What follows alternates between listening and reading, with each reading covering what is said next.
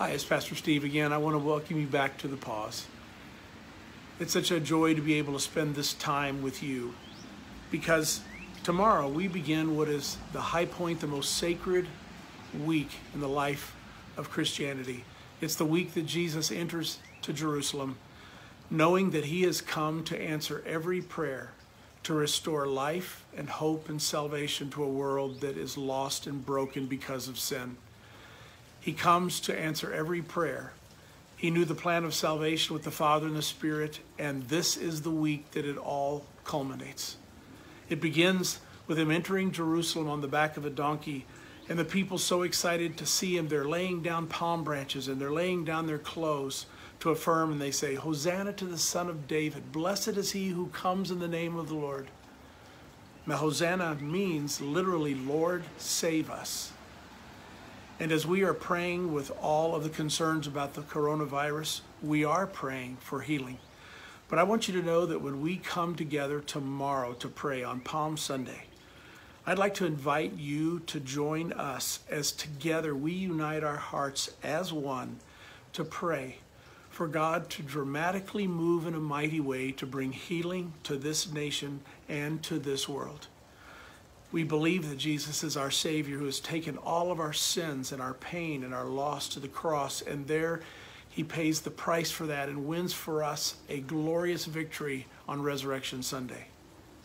And so for us, this week is all about the power of hope because Jesus is our source of hope.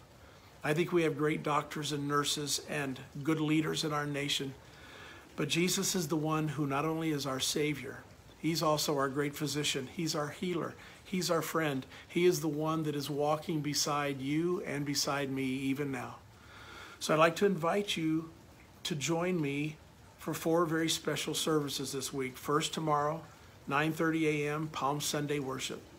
And we're going to worship together and pray together and lift up the name of Jesus, who is our source of hope. Then on Thursday, we're going to go back to our roots. April 8th is actually the beginning of Passover.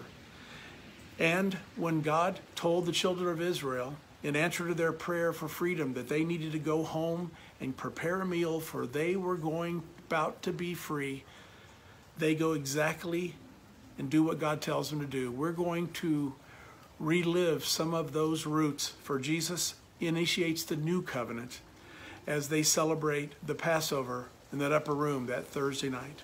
And we're going to walk with Jesus up the Via Dolorosa on Good Friday as he literally will take all of our sins to the cross, all of the sins of this world, all of the hopelessness and despair and sickness that needed to be paid for. And we're going to walk with him and hear his words of life and comfort and grace, even as he battles Satan and death and sin.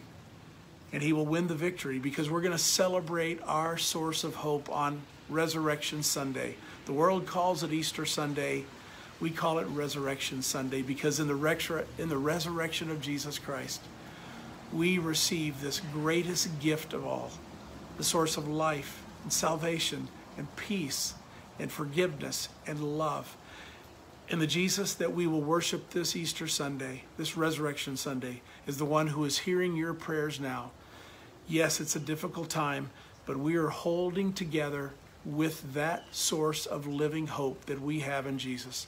I pray for him to strengthen you, and I invite you to join us each of these worship services, 9.30 on both Sundays, 6 p.m. on Maundy, Thursday, and Good Friday. God bless you, and may this be perhaps one of our most special times of worship together as the body of Christ. I love you. God be with you.